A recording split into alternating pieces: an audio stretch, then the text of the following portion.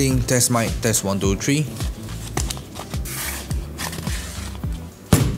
USKEYVISION, wide angle and macro lens for Sony ZV-E10 camera. Oh. User manual, okay, this is a WLZ10, basically it's an adapter. So let's check it out. Oh yeah, one cloth.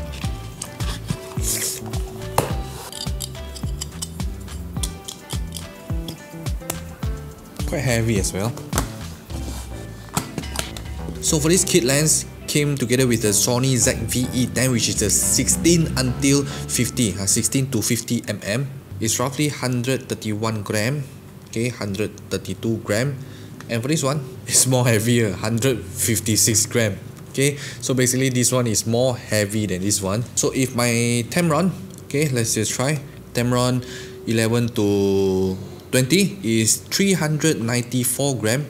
394 grams so basically this one is more heavier lah. So this is a zoom lens that I purchased for my Sony ZV-E10 that time when I purchased together lah. Uh, this one is quite pro a little bit. It's a f2.8 1120 okay when you zoom that time it won't go from 3.5 until 5.6 lah. So it's basically it stays at 2.8 but today in these videos ha, thank you very much. At the first thank you very much that USKEYVISION this company uh, willing to send me this product for review. Actually for this one is quite convenient for all those that don't mind about shooting at night or you all basically got lighting don't even care about aperture. Uh, you all can use this lens. Just open out and then just attach these things like this. Song song song song song twist counterclockwise at the bottom to open out the cam okay? So basically at this section right here this one is a macro. And then at the front right here another section just open.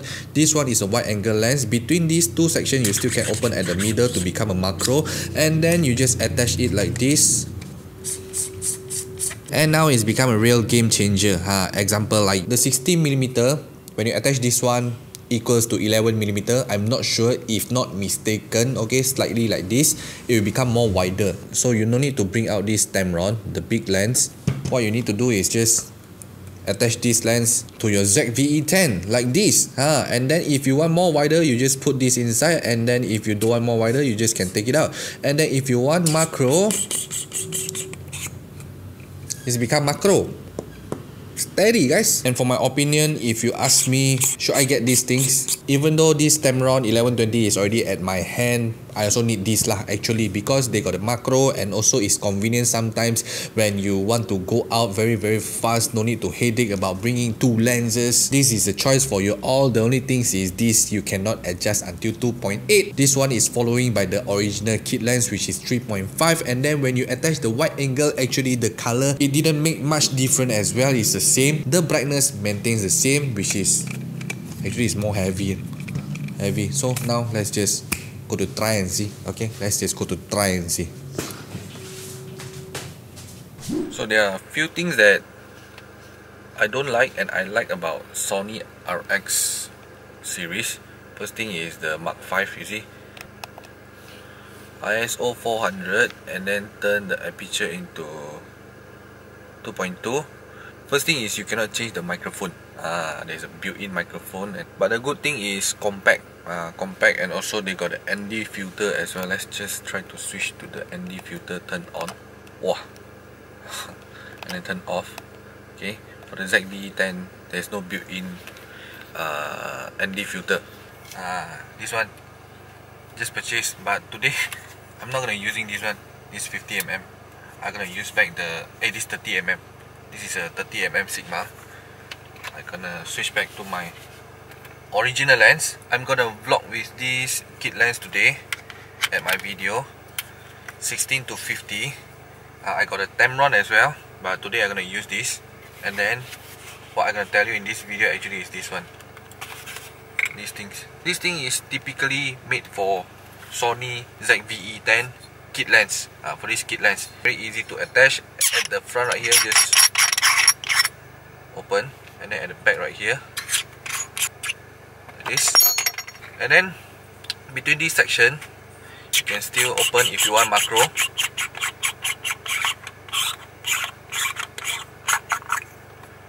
This is macro.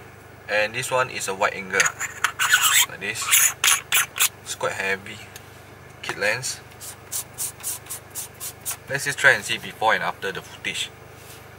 Quite nice also right now I'm switching back to my Sony kit lens which is I'm using this right now is a Sony ZV-E10 without attaching this one uh, I'm gonna show you all the special things about these things okay? Can save you all a lot of money. Actually for these things they got the advantage and disadvantage as well. Now it's like this. I'm currently switching to the 16 millimeter. And when I attach this one see. Stand it. Oh my god. I'm impressed guys I'm impressed okay? Right now it's just only this adapter wide angle adapter. You save a lot of money actually. So the pros and cons for this adapter actually is not about this adapter. Uh, it's about the kit lens. The kit lens is when you're using the 11 millimeter it gives you the aperture which is 3.5 and when you zoom until the 50 millimeter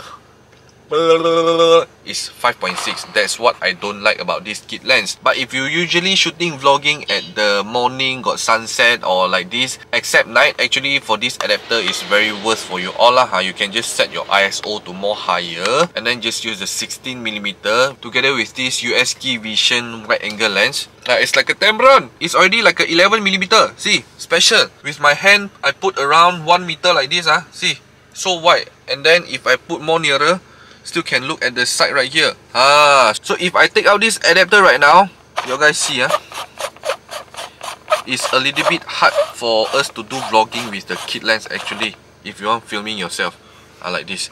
And if my hand put around 1 meter like this see it's still very narrow. Actually it's not suitable lah for this kit lens if you want to do a vlogging actually it's quite hard a little bit lah. Another things I forget to mention ah with the recording just now I'm using the steady shot guys steady shot. So if you turn off steady shot I'm gonna show you all with the adapter detached right now no steady shot so you get more wider but it's also very narrow for the kit lens. And if I attach this one uh, you see the white. You all guys see the wide angle. Wait uh. you all guys see the wide angle. Holy. See? Ha. So first thing if you are using the kit lens still you need to walking and then you need to turn on the steady shot. Actually for the kit lens 1650 actually is not suitable okay? Because when you turn on the steady shot your video will become cropped a little bit but for this one actually is very good lah. At least when you turn on steady shot that time when it crop that time you still can get a wider angle. So now let's just turn on the steady shot with the adapter attached. See how man i'm holding two camera right now see. See? Ah like this okay my hand is around like this one meter like this. See the white? With the steady shot on. Ah at least you still can vlogging ah! So what our mission today? Let's heading to find some food. Nyonya food at lunas. Is it lunas? Sungai karangan ah. Let's just continue right there and test our footage. Six and a half hours later OK， OK OK，老师，可爱哦，哎几只狗？很多啊，有五只，五只哦。对吧？过来走，过来，过来，过来，过来，来。 Hello. So right now we are at Lunas, this Baba Leong. Gonna test about this USK Vision, this adapter.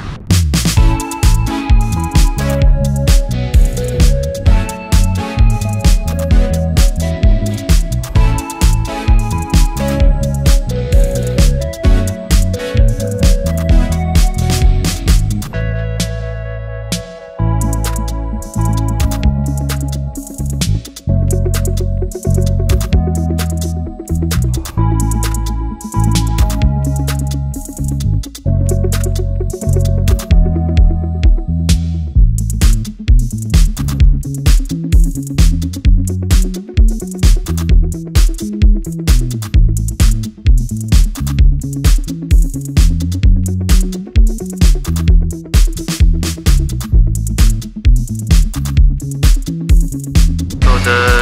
disadvantage of this uh, kit lens and together with this adapter as I told you all just now is because of the uh, aperture. Right now it's 3.5. So this area right here right now is kind of dark lah. And then I'm currently using 4000 ISO. Ah, That's the only things. So if you use wide angle lens, example like uh, Tamron 1120, you'll get 2.8, so you'll get more brighter. But for this one, you need to pump up the ISO because I'm shooting on 50 frame per second, 1 per 100, double up the frame rate. So it's okay lah.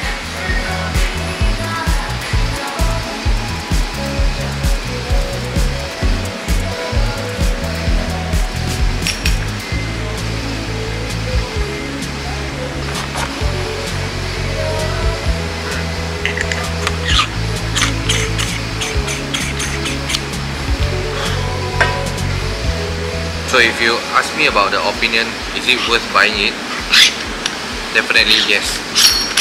Okay, save space. The only problem is if you're using this, you must use the kit lens and the lowest is uh, 3.5 aperture. Other than that, this thing is worth the price lah. If you all doesn't consider uh, for buying another extra wide angle lens, this is a choice for you all. Whew, not bad you guys. So as I told you all just now lah I tried this WLZ10 by USKEYVISION. Actually it's quite not bad also. It's worth the price for you all to try. So maybe the next things I'll try to shoot some uh, macro and then just upload at my Instagram. You all can check it out my Instagram at Adrian Lo Dejavu as well. Huh? That's all for these videos that I want to tell you about this USKEYVISION WLZ10 WLZ10 uh, remember uh, I see you all at my next gadget review. Adiós.